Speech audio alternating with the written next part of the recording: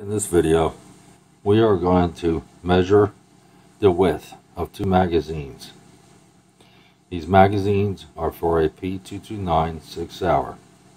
One is chambered in 9 millimeter, and the other one is a 40 Smith & Wesson slash 357 SIG. Now obviously the 9 millimeter is a little bit thinner and the 40 Smith & Wesson 357 SIG is a little thicker meaning the mags would be different. Now, by just looking at them, a lot of mags do have markings on them, which will help. And this one, as you can see, says 40 slash 357.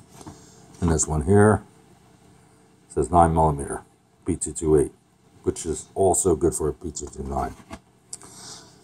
However, some mags, you might not have those markings, you might just have the name on them uh, they may not be as clear. Like this is an older mag, although it does have markings on it. This is a SIG Sauer mag. The markings are on here. This is more used. This is a used mag, obviously, much more used. The zipper back. There's another one.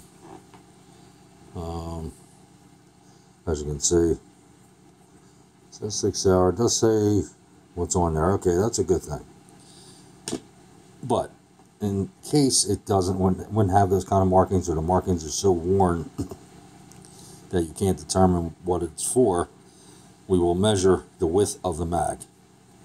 And the way I do that is I take my trusty caliper, which is not the most expensive in the world, but it's uh, it works. You can pick these up for about maybe $30 sometimes on sale. They work well for me. Anyway, we will take some measurements, and obviously the one that's a little thicker would be the one for the larger caliber, which is the 40 slash 357 SIG. Although they are, they are almost identical, there is a difference, especially when you insert them in the in mag well of the pistol. Let's zero this in. Let's take measurements here. Okay, without even knowing which one was which. Okay, we're going to measure that.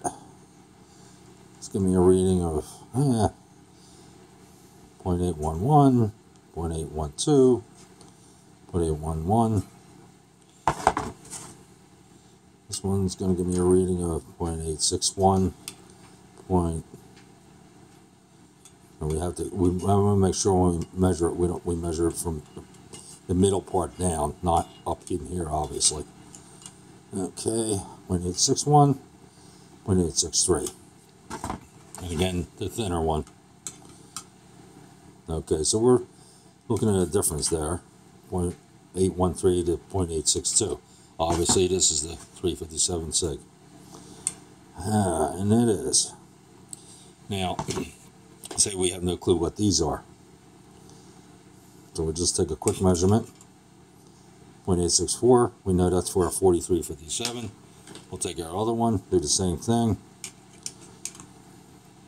0.859, 0.860. So we know there's three for the 4357 and one for the 9 millimeter. Now, what we're going to do is we're going to actually put both mags in the pistol. I'm going to show you the difference if you want to go ahead and convert your 4357 pistol into a 9 millimeter, obviously you need a whole slide assembly with the barrel and the spring and recoil and a locking insert. But also the mag is a good idea.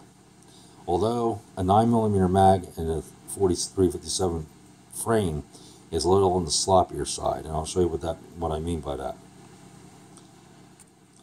Okay, here I have the pistol. This is a 40 357 SIG.